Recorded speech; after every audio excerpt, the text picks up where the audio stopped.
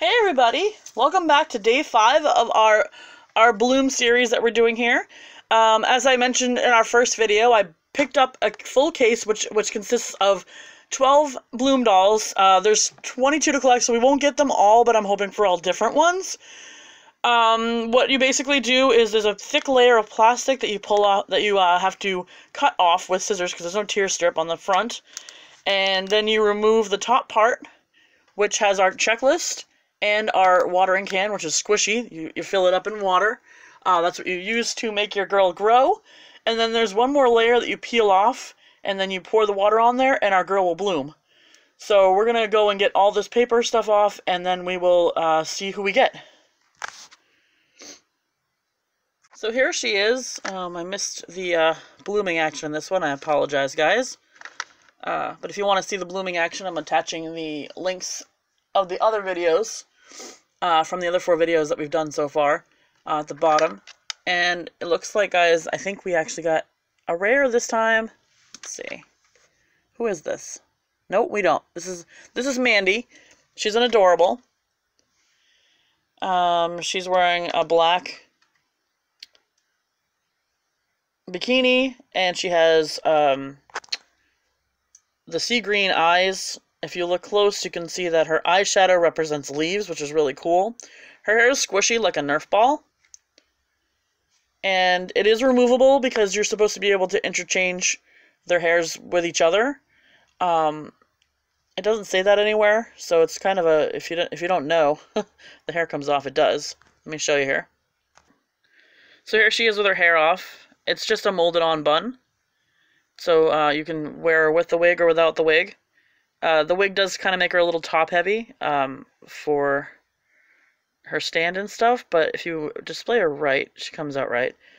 Uh, her lips are a light, light pink, and they have that little um, detail work there that separates the top lip from the bottom lip. And uh, she does sit. You can make her sit. You can make her stand. Her arms go back and forth. Her head goes back and forth, and it goes up and down. So that's pretty cool. Um, let's see. So the next step you're supposed to do here is you're supposed to pull out this layer.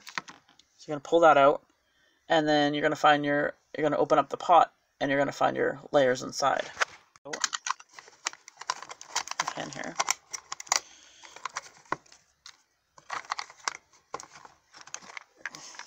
Hmm. Sometimes it's a little hard to do with one hand. I am going to get my so just give it a huge pull, and this whole mechanism pulls off. That's the mechanism that helps her grow. That's the science behind the whole gimmick. Um, so then we, I think there's tape holding it. Yeah, there's tape. Take the tape off and you open this up. So my biggest beef about these is that there's a lot of, I mean, there's not a lot, a ton of detail work done in this, but it's it's actually, basically this flower pot is a glorified blind bag. Uh, it's unfortunately more throwaway than it looks. Uh, the hinges aren't very strong. They're not weak. I mean, they're weak. So um, basically, that little ring that we pulled out is what kept it all together. So once you pull that ring out, it's very flimsy. Um, it is better to me than the paper ones that some of these sets come with because it's more durable, uh, especially since it's getting wet and stuff. But uh, you open up the hamper here, and then you um, pull out your little friend. Okay, so our little friend looks like an onion. I don't get it. So then we open up this, and this is going to be our outfit. I can get the little, there's a little pull tab here. All the other ones seem to be very accessible except for this one. And who do we have here? What do we have here for the outfit? Oh, is this the girl in the front? No, it's not. Oh, but it... This is the outfit of from the front of the box, except for it's um, done in black. So, hmm. They are meant to interchange, so maybe that outfit didn't come on that girl, or that's just a different variation of this outfit that did come on that girl.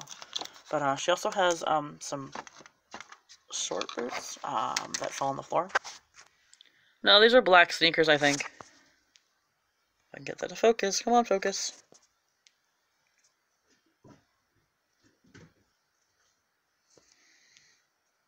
Lex sneakers. You can see the lace detail. Uh, there's no paint detail on any of the clothing, but um, except for they did put a little paint detail on this one. So you have the lavender fur coat lookish thing. Um, I think it's supposed to be like feathers, maybe. I don't know. And then it's supposed to look like she's got a skirt and a tank top under it, but it's all one piece. So we're gonna have fun putting that on. They go the outfits go on almost kind of like LOL outfits. If you want to compare them to another doll series. And then uh, this stump comes out. So yeah, the stump comes off and it's going to reveal, there's tape on it, our purse. And our stand on the other side. So here she is all put together. Um, I, this is one of my favorite outfits I think so far. I think I've said this in all the videos, I don't know. But, um, and also here is her I put, let's pull her off her stand. This is one of the ones that doesn't really stay sturdy on the stand. Some of them do, some of them don't, so it's a pick of the draw. Um, I put the sticker on the bottom because this is supposed to be a mirror that's uh, transferable into a stand. So you put the mirror sticker on the bottom of the stand I've found so far. Uh, everything else is kind of a free-for-all with the stickers. We put a lamp in there. We put a dream catcher over on there. And we put a picture of the BFFs up there good vibe sign. And our bookshelf is up, and then our little starfish. So that's all we have for you guys today. Uh, if you like this video, go ahead, give it a thumbs up, uh, and subscribe, and we will see you guys in the next one. Bye, guys.